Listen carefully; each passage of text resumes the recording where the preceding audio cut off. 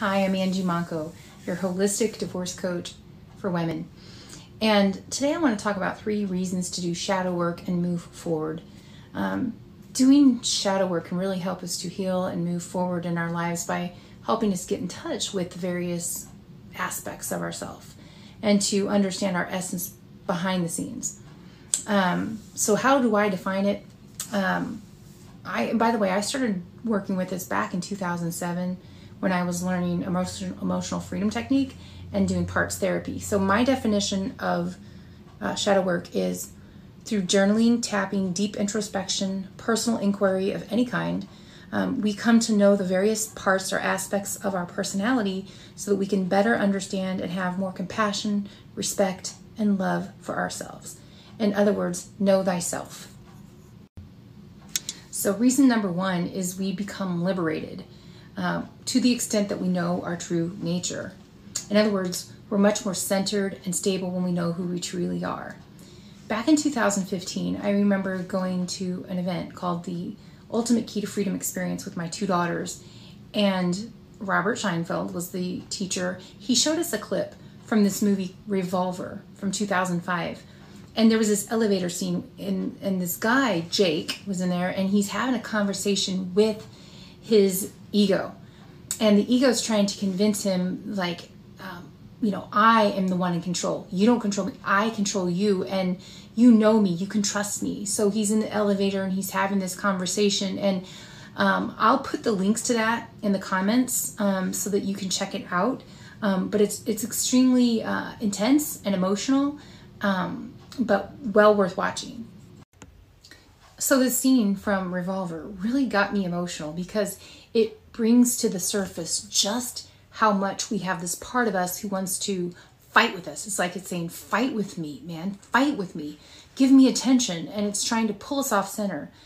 And the reason that can help us is when we truly get that in our heart, um, we're no longer tricked and we can see it. And and so we become aware and we realize that that's not who I am. And um, we might say uh, to ourselves, okay, so I have these parts of me. Uh, they tell me lies all the time. They aren't bad, and I don't want to get rid of them. I also don't want them to rule me anymore. Like an annoying fly, I swat away my the messages my parts would have me believe about myself.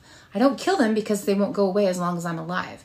The flies just come at me at a much slower, less distracting pace And reason two, uh, doing the shadow work gives us more empathy towards ourselves. And when we have that, we can give it to others. How is this possible? Just if we can get to know and see these parts, how can that do that? So, just like in the revolver scene, when you see the self absorbed parts, um, Jake says in the scene, I can hear you, I'm on to you. Um, it has a way of pattern interrupting those parts. Um, you can see that Jake's part looks kind of confused. Oh my gosh, like he's noticing me. So whatever that is, that pattern pattern interrupts it. And then Jake says, um, "You ain't me." He realizes that's not who he really is. He said, "You don't control me. I control you," meaning to his part. Um, so then, this is a beautiful scene of Jake surrendering to his higher self and reclaiming his power. And once we do that, we can understand ourselves so much better and give empathy to others as well.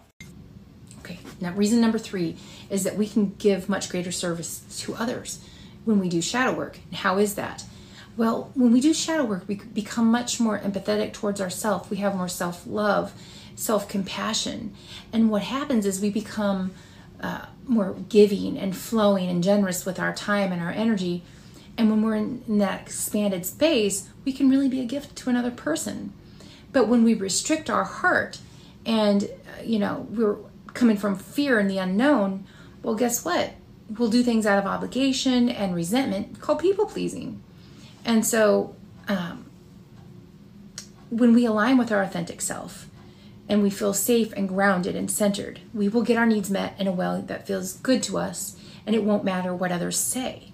So, we can actually give much more service to other people when we're coming from this space of love versus fear.